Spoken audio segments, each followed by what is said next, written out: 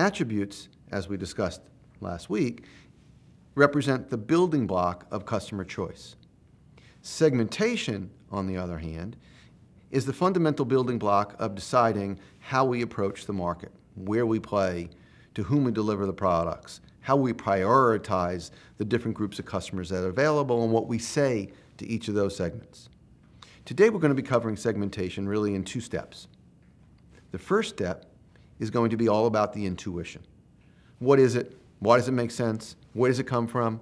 Are there examples we might look at, and there will be, examples that we can use to illustrate what the purpose and ultimately the goal of segmentation looks like in the marketplace.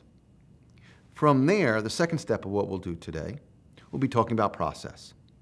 The process of segmentation will take you through very specific steps.